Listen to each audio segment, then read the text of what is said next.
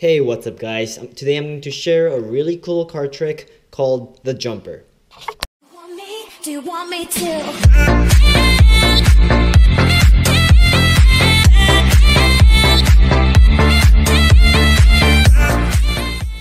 Alright, before we get started, I would first like to point out that this trick has two different phases. Phase number one, I'm pretty sure you guys know what it is, but phase number two, it's a bit different and it has a little bit of a twist. So maybe stick around to the end of the performance at least to figure out if you want to learn this trick or if you just want to ditch and watch a different video. Okay, so with that having been said, um, let's get straight to the performance.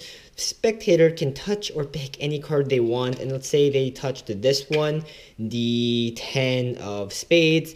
What we're going to do is we're going to leave the 10 of spades right there in the middle of the deck, okay? And we're going to take the 10, and we're going to leave it somewhere in the middle of the deck, like so and we're gonna push it in okay? So we need to find two different cards to find your card the 10 of spades. Um, whenever you feel like it maybe tell me to uh, tell me to stop. So for an example let's say you said stop right here that's one card and maybe you said stop right here. That's those are two cards and let's see how you did. You chose the two queens that's that's pretty sick, hey? Um, it's to go along with this trick very well. You chose the Queen of Clubs and the Queen of Hearts. Now watch, this is phase number one. If I go one, two, like that, one card jumps out, and this is going to be the 10 of spades, right? So maybe that was a bit too quick for you, so let's try that again, okay? So, um, 10 of spades, it's between the queens, and what we're going to do is we're going to take the Queen of Hearts, your card right here and the queen of clubs. And what we're going to do is we're simply going to take your card and the two queens like so. And then we're going to take ten of, ten of spades somewhere in the middle of the deck like so. And watch this. If I take the two queens the queen of clubs and the queen of hearts like so and watch as I push this card in and it jumps out right back here and that's your card the 10 of spades. Let's see how this is done Okay, so as you can see, this trick has million possibilities depending on what kind of phases you use. Um, I think um, the two cards that the spectator actually chose were the Queen of Clubs and the Queen of Hearts. So another phase that I could you could do is one of these things where their card was maybe the Ten of Hearts, and the Ten of Hearts jumps between the two selected cards. Like so that could be another phase you can add on.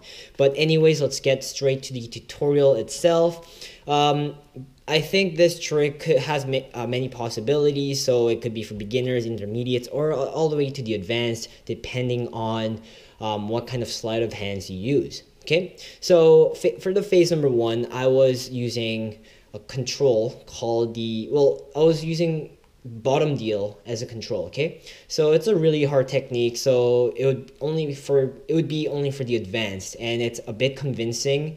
It's very convincing actually but it's a very hard move. So bottom deal essentially looks something like so okay? Let's say the spectator wanted this card the two of diamonds. By the way it's still something on that i'm working on. So normal deal would look like this where you have the two of diamonds in this hand. But bottom deal deals the bottom card. So you have the three of clubs and two of diamonds is right here. Now, obviously, that was a bit slow, but also, um, you could see what what is happening, right? So what I did was I added a little bit of risk kill, like that. So it, it was a bit bad, but then you can still see what I'm doing, right? So that that's what bottom dealing is, right? So if you do that, it's a bit more convincing, I guess. So that's how I controlled it. And then obviously their chosen card, two of diamonds is right here. So I just said I'll sandwich it right here. And then I already have the two of diamonds controlled to the top. Now that's for the advanced. Um, if you are not for, or you, if you're not an advanced maybe you're like a beginner slash intermediate, don't worry, there is a different control you can use, and it's called the alerting control. I've taught that in my past already, and this is what it looks like if you're doing the alerting control, okay? Let's say the spectator uh, wanted this card right here, this card, and that card is a 10 of diamonds. What we're going to do is we're going to leave the 10 of diamonds in the middle of the deck like so, and the 10 of diamonds diamonds jumps back right back up to the top so that's a different control and um, depending on what kind of what kind of um, magician you are and how long you've been doing this for, you might be using the bottom deal control or the alerting control. Okay, so both are really good. So um, let's get to the actual thing now. So once you've controlled their card to the very top, and let's say they chose the Joker, Henry, and once you have controlled the card to the very top, this is what you're going to do. You're going to dribble, and then um, the spectator is going to pick two more cards, okay? So you're, you can dribble along like this, and then just tell them to say stop. So an example like, like this, stop, that's one card, and let's say they want you to stop again right there, that's two cards. That's what it looks like, okay? So it's really simple. And if you don't know how to dribble a deck of cards, you can be like, okay, let's just pick out these two random cards. These are really random, and let's see what they are, okay? So it doesn't matter, but for this tutorial sake, we're going to use a two black queens, two, two black kings um, to make this tutorial a bit easier. By the way, these are random cards, so it doesn't matter, okay? So right now you're in this position where you have controlled their card to the very top either by using the alerting control or the bottom deal. And you have picked the pick spectator picked out two random cards. Once you have done that you're going to push off the very top card and grab a pinky break like so okay on the joker or the spectator's card okay?